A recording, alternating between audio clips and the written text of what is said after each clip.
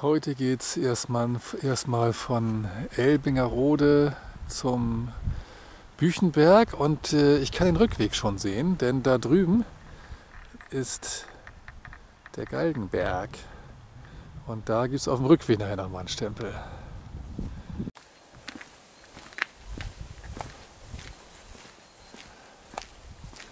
Ah, hier geht es jetzt runter zum Schaubergwerk Büchenberg. Und hier unten ist dann hier der Stempelkasten am Eingang.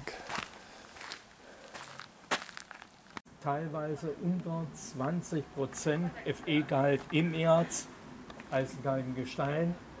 Das wird heute niemand mehr auf der Welt abbauen. Hängen, hängen heißt nicht sich aufhängen, sondern der.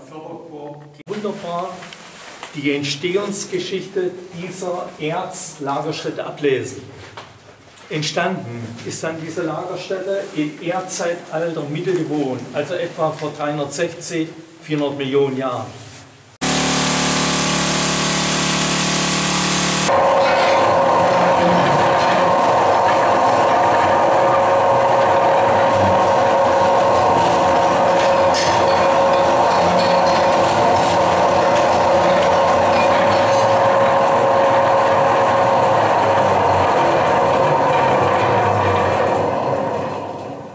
Hier haben wir mal einen anderen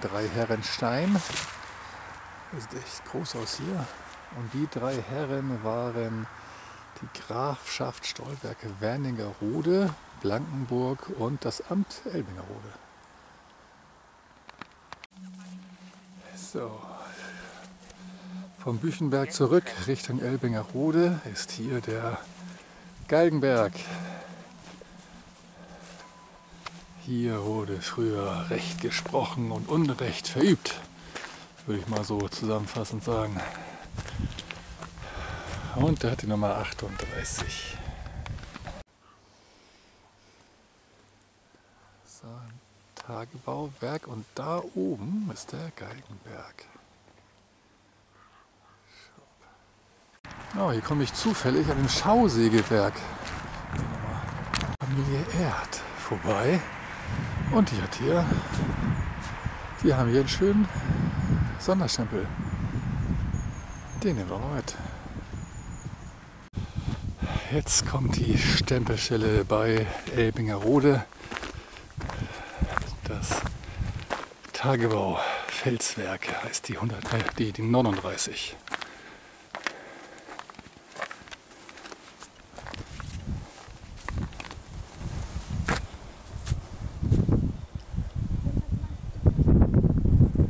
Ah, Sehr beeindruckend. Dem Weg zum Jägerspleker-Teich und der Stempelstelle dort komme ich erstmal hier am Hirschlerteich vorbei. Der sieht auch schon sehr gemütlich aus.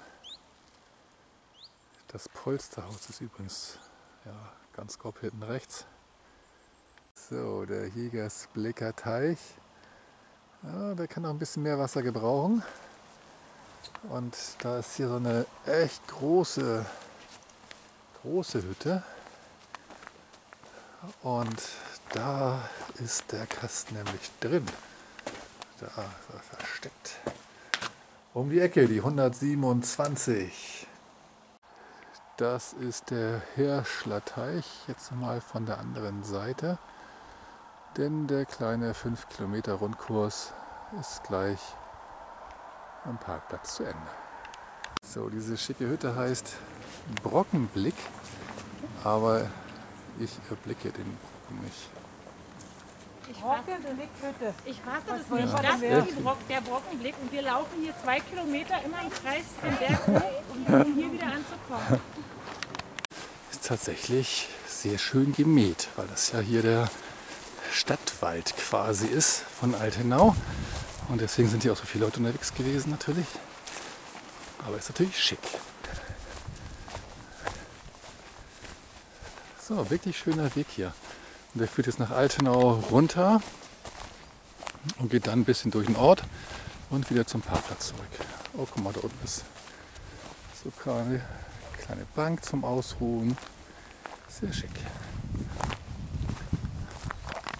Das ist doch mal eine richtig coole alte Bank. Schon verfault. Ja, diese Bank hier, die hat einen Grund, denn wir sind hier am Försterbrunnen und klein, aber fein. Das hier ist eine Quelle. Da steht zwar gar nicht so wirklich dran, aber das ist ganz offensichtlich eine Quelle. Da kommt das klare Wasser raus. Nicht viel, plätschert so ein bisschen, aber auch sehr schön.